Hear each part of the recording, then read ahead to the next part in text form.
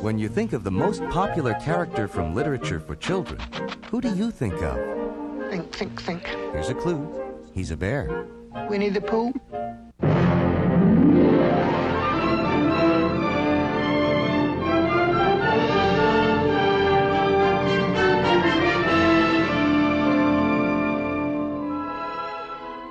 The stories about Winnie the Pooh and his friends in the Hundred Acre Wood have become beloved classics, translated into dozens of languages and adored by children around the world.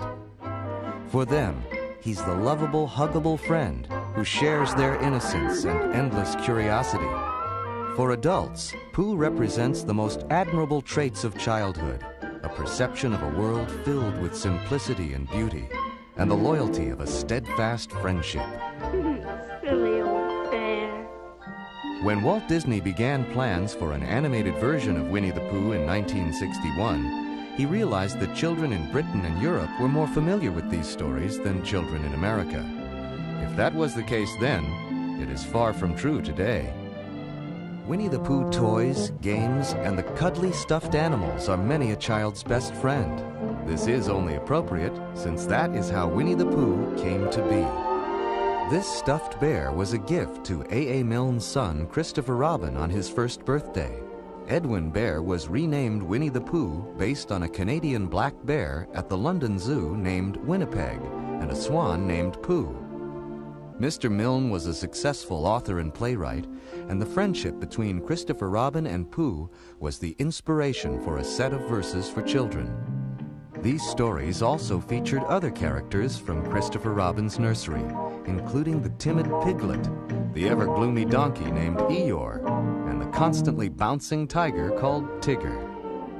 A frequent visitor to the Milne family's Sussex estate was English artist Ernest H. Shepard.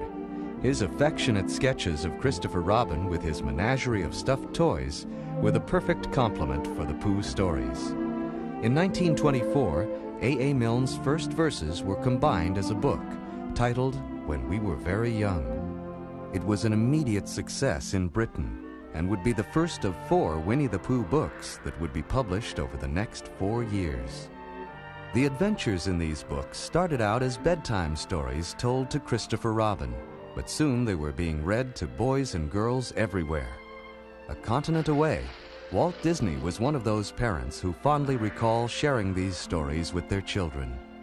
Back when Walt Disney's daughters were small, Mrs. Disney used to read stories to the daughters in the evening. She'd read them the Mary Poppins stories, she'd read them the Winnie the Pooh stories. And Walt Disney used to hear the laughter coming out of his children's bedroom, and he knew they were really enjoying these stories, and so he remembered that. Walt uh, called us one day and he says, uh, I have an idea about Winnie the Pooh. We ought to do that. Do you guys know Winnie the Pooh? And I says, Well, I remember hearing about about this book, this story when I was uh, stationed in in uh, England during the war. And Walt says, "Yeah, yeah, oh yeah, these are good stories. We make a little little feature out of these." Walt acquired the rights to the Winnie the Pooh books in 1961 and started plans for a musical animated feature length film to be produced and directed by Disney veteran Wolfgang Reitherman. Woolie Reitherman was really the key factor behind these pictures. He, in a large way, was responsible for the art direction on it too, starting with the book stuff, like having Christopher Robin swinging on the page with all the printing. So you're always aware that this is a book that the kids can read and something that they can get involved in. He had Walt's spirit in him, and Woolie never gave up trying to make things better. The talented songwriting team of Richard M. and Robert B. Sherman are renowned for their songs for Mary Poppins in 1964 and The Jungle Book in 1967. Walt personally enlisted them to work their magic for Winnie the Pooh. Dick and Bob were like a song and dance team. You know, they Dick would get on the piano and play a little the little melody, you know, and uh, Bob would come up with a, a, lyric to it. Dick was a real showman, and, and I think Walt really, really loved it. He never ever wanted us to, in any of his projects, just write a song to be sung. He, he wanted a song to move the story forward. I I'm just a little black rain cloud. Walt wanted the songs for Winnie the Pooh to be eminently singable and very simple, and yet uh, try to be original and whimsical. The breakthrough came when our very first song, we knew we were going to write a title song. And so we decided to set the scene and make it very gentle and sweet. And it was kind of like a love song to this whole idea of being young and believing in little teddy bears and little piglets. And it went something like this. Winnie the Pooh, Winnie the Pooh, chubby little cubby all stuffed with fluff. He's Winnie the Pooh, Winnie the Pooh, willy nilly silly old. Pooh, of course, was basically a honey lover. He loved to eat honey and guzzle lots and lots of good sweet things. And so he would exercise for different reasons. Try to build up his appetite. Yeah, he, he, he did it just for the opposite reason than, than we would do it. He wanted to put on weight, not lose weight. Thusly, up, down, up, down, up, down, up. When I up, down, touch the ground, it puts me in the mood. Up, down, and touch the ground, in the mood for food. I am stout round and I have found speaking poundage wise. I improve my appetite when I exercise. For many thousands of people, the characters from the Winnie the Pooh stories were defined by Ernest Shepard's charming book illustrations. Walt realized the value of staying consistent with his audience's childhood memories of these tales and insisted that his artists adhere as much as possible to the original designs of the characters. Actually, there was a little bit of a conflict of whether we should use Shepard's uh, illustrations or come up with our, our own. Walt decided, no, we'd come up with our own design of Winnie the Pooh, not getting away completely from Shepard's illustrations, which are beautiful things, but uh, we had to make them Disney. Well, we all loved the Shepard drawings when we started on the picture and still do. But you can't take something like that that is drawn only in certain views. We have to be able to draw the character in every position, every view. So we had to design our own characters. We decided to keep the eyes flexible so that the character could close and open the eyes, they could raise their eyelids, they could move their mouth around and their cheeks a little bit so you get the feeling of an expression, but they couldn't look like this around or up that way like Mickey could. We had to do it by turning the head. And actually, it was better because it made him look more doll like. Walt was concerned that uh, they would have more charm than substance. And uh, he wanted to be sure that we had, we captured the story, that we captured a strength in the characters so that they would exist on their own. They didn't rely on you having read the story. Once the designs of the characters were approved, model sheets were created so each animator had a reference for how the characters were to be drawn. And he's got a little, he's got a fairly big body here, and and uh, this is his little little red outfit here, little red dress, and the material itself is is very delicate, very uh, uh, fragile in a sense. You don't want to make big guffaw laughs with this with the, the material. It had to be done uh, very gently and uh, whimsically. Uh, who are you? I'm Pooh. Oh, Pooh. sure. Uh, what's a Pooh? You're sitting on one. Winnie the Pooh is very straight. He's like a little child. He's just totally honest and says it just the way it happens, the way children do. They don't have any hidden meanings. Is anybody at home? No. Bother. Isn't there anybody here at all? Nobody. Somebody there. Because somebody must have said nobody. Happy Wednesday, Piglet. Piglet's so sympathetic. He's so little. and, and, and he's always trying to be such a nice guy and trying to get along, trying not to show that he's scared when he's up in the air uh, like a kite, you know. And, but he does get panicky, but he, it's always still a kind of a restrained thing. Oh, no. Stop. Stop. Hello. Hello, Rabbit. Rabbit, he was always frustrated. You know, he and he was just a worry wart about everything. Honey? Oh, no! I'm Tigger. T-I double G R. Er. That spells Tigger. Tigger, of course, was always kind of fun because he was no cares in the world. He just went out there and he just did whatever he wanted to. And of course, he always got into trouble, and that was that was fun. Some bouncing, huh? Say, how did this tree get so high? Hello, Mrs. Kanga, ma'am. Some of the traits I I tried to bring to Kanga and Roo, which was the mother-son relationship, and trying to think of Roo as a five-year-old boy. Is your sweater warm enough? Yes, Mother. We wanted to have, and Walt wanted to have, one kind of an American character that would also bring in the youngsters in America. And uh, Gopher is a, a very American animal. Somebody call for an excavation expert. I'm not in the book, but I'm at your service. The gopher. The name is McCard. There was an effort to make some put some comedy in, and that was the uh, the Gopher. First thing to be done is uh, get rid of that bear. He's gumming up the whole project. It was very much like the Badger and uh, Lady and the Tramp. In fact, it was a real takeoff of it. Uh, we were pleased with him, except that we were very nervous about it because, uh, after all, there are Pooh-ophiles. There are people that really adore Winnie the Pooh, in, particularly in England, and we didn't want to offend anyone.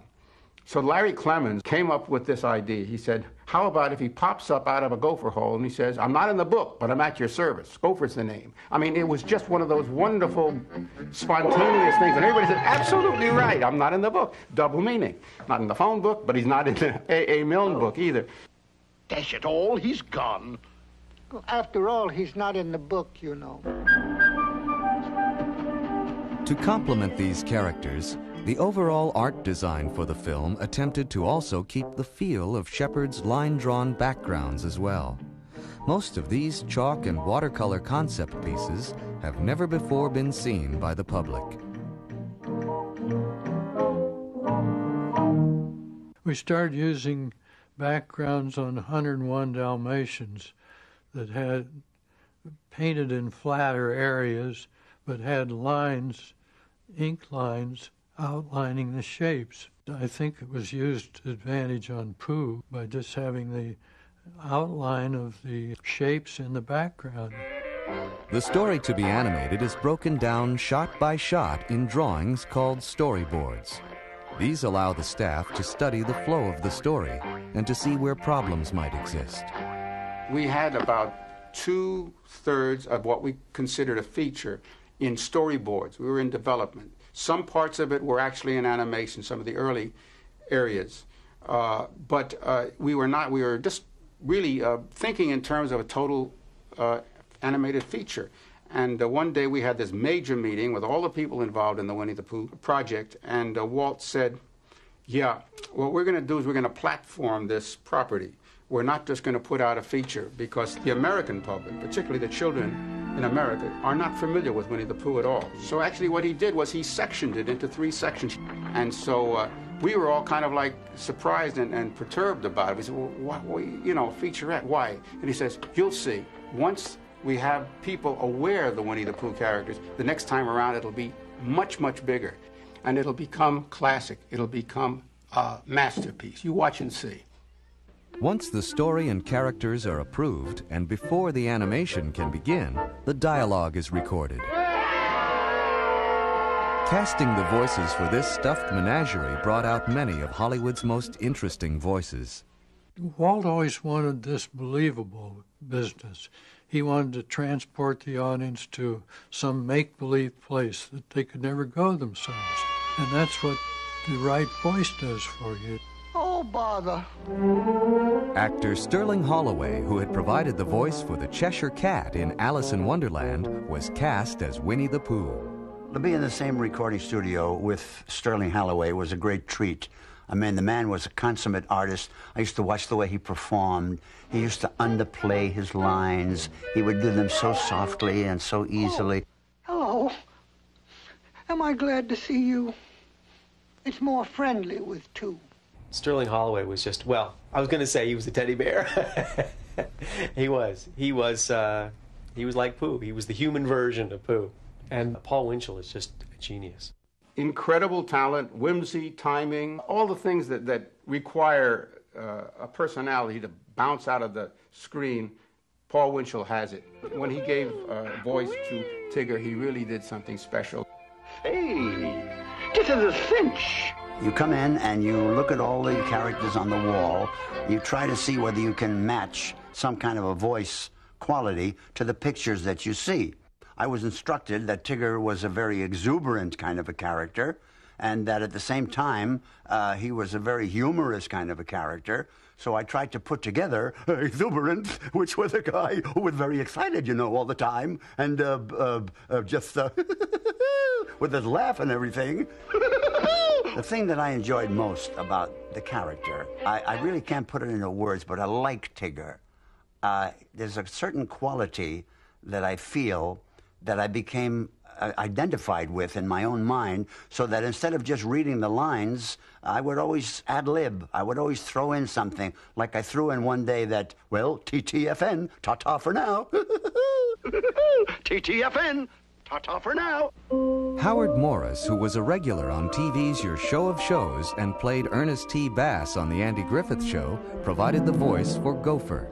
The gopher was a character. We decided to give him a, a funny uh, characteristic, and that he whistles through his teeth. It certainly is. I'm working the swing shift, you know. Ralph Wright uh, was one of the story guys, and he had a real keen, deep voice. And we wanted Ralph to do the do the voice for, for uh, the donkey, and so we recorded it. So he is the voice of Eeyore. Thanks. It's not much of a tale but I'm sort of attached to it. Jon Walmsley, who starred as Jason on The Waltons, was one of three actors who provided the voice for Christopher Robin. I was 12, actually 11, when I did uh, Christopher Robin. And uh, the character was basically me. Christopher Robin is a little English boy, and I was a little English boy. So I was basically playing myself at the time. Hello, Christopher Robin.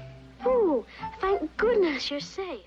Sebastian Cabot, who was familiar to American TV audiences as Mr. French on A Family Affair, was cast as the narrator. Now, honey rhymes with bunny, and bunny rhymes with, uh... Rabbit? Other voices included character actor John Fiedler as Piglet.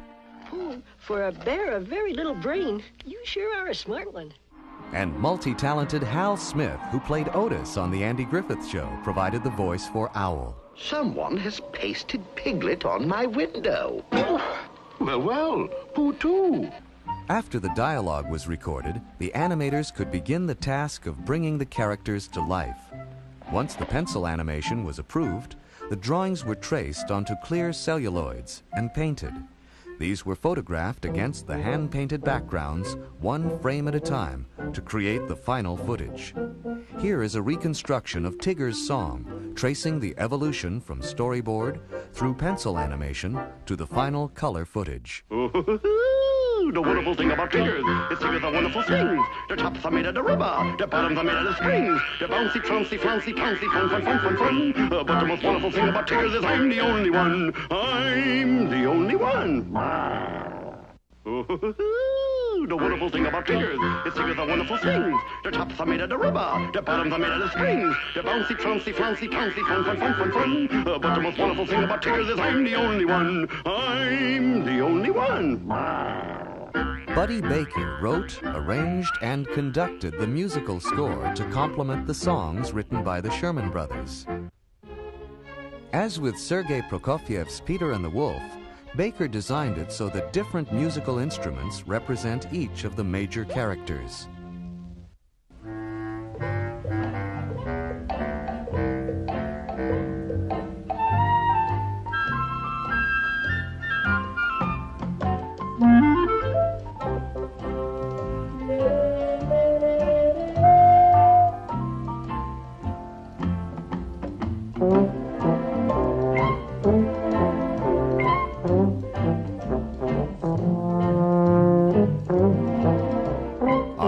February 4th, 1966, Winnie the Pooh and the Honey Tree was released theatrically.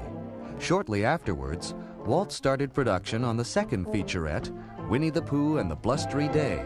but he did not live to see the fulfillment of his prophecy about the popularity of the Pooh characters. Three years later, we put out the second Winnie the Pooh, which was Winnie the Pooh and the Blustery Day. And it won the Academy Award. Not only did it win the Academy Award, it was a very, very, very successful featurette. And Winnie the Pooh became like an established Disney character. I mean, he was as, as fully accepted around the world as any of the previous characters had been.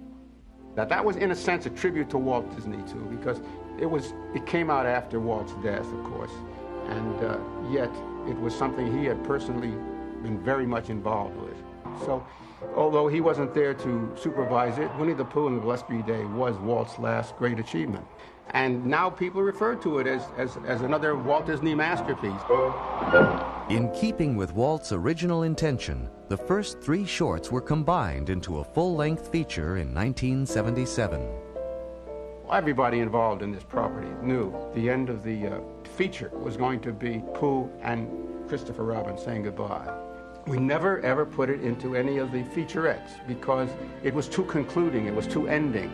A few years later, they were going to do a longer version of Pooh, and then they were, were going to animate and complete the, the last sequence. It's very touching and very sentimental. It's a little boy saying goodbye to his childhood, his basic childhood. This was my first exposure to that story, and I didn't know what was coming. Got to that, and I'm reading this dialogue and just completely lost it. And that's what you hear in the show. And when I saw this as an adult, I thought, man, that's like the best scene I've ever done. Because it was totally real. You know something, Pooh? I'm not going to do just nothing anymore. You mean never again? Well, not so much. Pooh, when I'm away just doing nothing, will you come up here sometimes? You mean alone? Just me? Yes. And Pooh, promise you won't forget me? Ever? Oh, I won't, Christopher. I promise. Not even when I'm a hundred? How old shall I be then? Ninety-nine. Silly old bear. Disney has to be credited for bringing the popularity of, of uh, Milne's story of Winnie the Pooh to the American public. There's certainly an honesty and an innocence to these Pooh characters. They aren't putting anything over on anybody. They don't try to put anything over on each other. They're very honest with each other. I think they believe in each other and care for each other. And I think that the kids could get a wonderful lesson from that, so can grown-ups.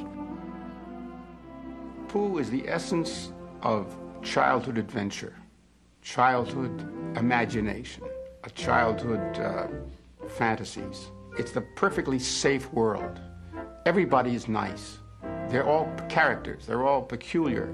Rabbit's very fastidious and fussy, and Owl is a windbag. He talks all the time, but they're all lovable. They're all wonderful.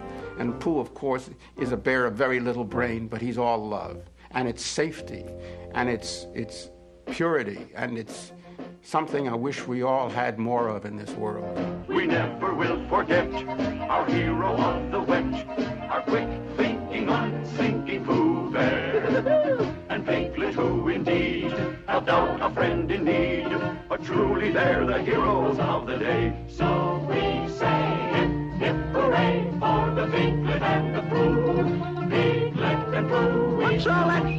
and singing and silly shenanigans? generosity. Hip,